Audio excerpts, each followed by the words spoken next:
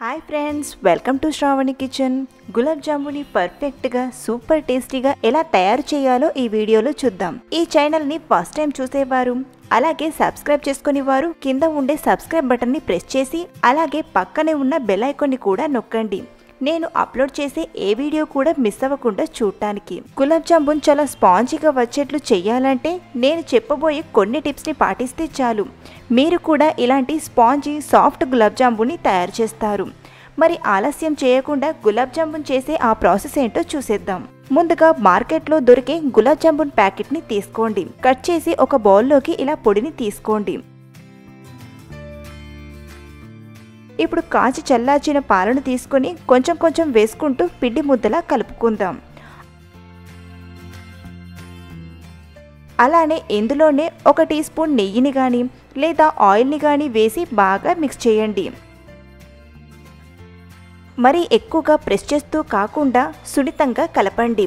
ఇలా సాఫ్ట్గా కలిపాక మూత పెట్టి ఒక పది నిమిషాలు పిండిని సెట్ అవనిద్దాం పిండి సెట్ అయ్యేలోపు పాకాన్ని ప్రిపేర్ చేద్దాం. ఒక కప్పు గులాబ్ జాంబు పిండి వేస్తే రెండున్నర నుండి మూడు కప్పుల వరకు పంచదారను తీసుకోండి. ఇలా మెజర్ చేసి తీసుకుంటే స్వీట్ అయినా పాకమైనా కరెక్ట్గా సరిపోతాయి. ఇందులోనే మూడు కప్పుల వాటర్ని కూడా యాడ్ చేసుకుందాం. పాకం తీగ పాకం రావాల్సిన అవసరం లేదు. ఇందులోనే రెండు మూడు యాలకులను కూడా వేసుకుందాం. మీరు యాలక్కుల పొడిని వేస్తుంటే చివర్లో యాడ్ చేయండి. ఇలా చక్కెర కరిగి మరగడం స్టార్ట్ అయ్యాక మరో ఐదు నుండి ఏడు నిమిషాలు మరిగించండి.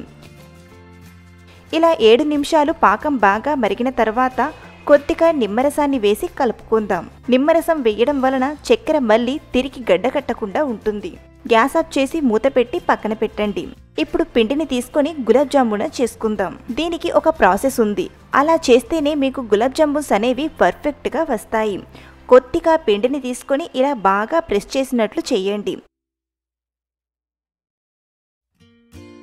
ఆ తర్వాత సాఫ్ట్గా రౌండ్ బాల్స్లా చేయాలి. ఇలా చేస్తే గులాబ్ జామున్స్ పైన క్రాక్స్ వంటివి రాకుండా చక్కగా వస్తాయి. ఇలాగే పిండి మొత్తం కూడా గులాబ్ జామున చేసుకుందాం.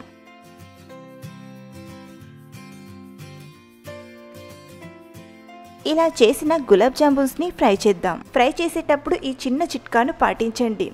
డీప్ ఫ్రైకి సరిపడా ఆయిల్ని తీసుకుని వేడి చేయాలి. ఆయిల్ టెంపరేచర్ కరెక్ట్గా ఉండాలి. ఎలా చూడాలంటే ముందుగా ఒక చిన్న పిండి ముద్దను వేయండి. ఇలా చిన్న బబుల్స్ లా వస్తుంటే గులాబ్ జామున్ ఫ్రై చేయడానికి ఆయిల్ కరెక్ట్ టెంపరేచర్లో ఉన్నట్లు ఇప్పుడు ఒక్కొక్కటి నిదానంగా యాడ్ చేసుకుందాం. వీటిని కేవలం లో టు మీడియం ఫ్లేమ్ మధ్యలోనే ఫ్రై చేయండి. అప్పుడే గులాబ్ జామున్స్ అనేవి పర్ఫెక్ట్గా ఫ్రై అవుతాయి. లేకపోతే మీరు పాకంలో వెయ్యగానే లోపల పిండి పిండిలా తడిగా ఉంటుంది. ఇలా చుట్టూ తిప్పుతూ ఈవెన్గా బాగా ఫ్రై చేయండి. మంచి కలర్ వచ్చేదాకా ఫ్రై చేయాలి. ఇలా మంచి కలర్లోకి వచ్చాక ఆయిల్ నుండి తీసేసుకుందాం. ఇలాగే అన్నిటినీ కూడా ఫ్రై చేద్దాం. ఫ్రై చేసి గులాబ్ జామున్స్ని పాకంలో వేసేటప్పుడు పాకం కాస్త గోరువెచ్చగా ఉంటే సరిపోతుంది. ఇవి కూడా ఫ్రై అయ్యాక పాకంలో వేసుకుందాం.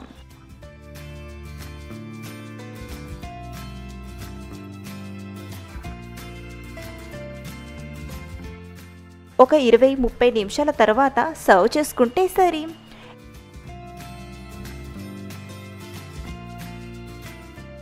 ఎంతో టేస్టీగా స్పాంజీగా ఉండే గులాబ్ జామున్స్ రెడీ అయిపోయాయి.